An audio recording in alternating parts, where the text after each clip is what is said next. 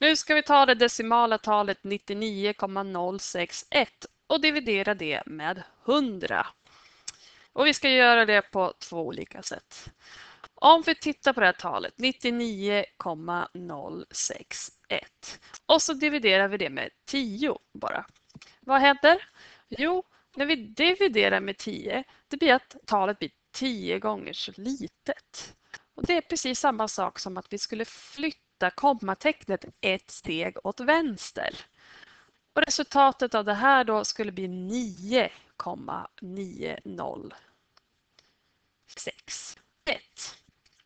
Verkar det rimligt? Ja, vi hade ungefär 99. Om vi delar det på 10 så borde vi få 9,9.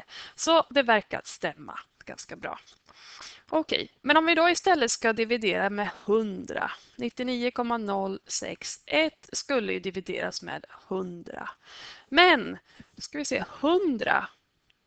Det är samma sak som 10 gånger 10. Det är 100. Så vi kan tänka att vi dividerar med 10 två gånger. Och då således så ska vi flytta kommatecknet inte en gång utan två gånger till vänster. För vi dividerar med 10 två gånger. Okej, gör vi det får vi då 0. Där kommer kommatecknet 99061. 0,99061 är svaret på den här uppgiften. Och man kan kontrollera att om vi nu skulle multiplicera det hela med 100, då borde vi komma tillbaks där vi började. Eftersom division och multiplikation, det är varandras motsatser.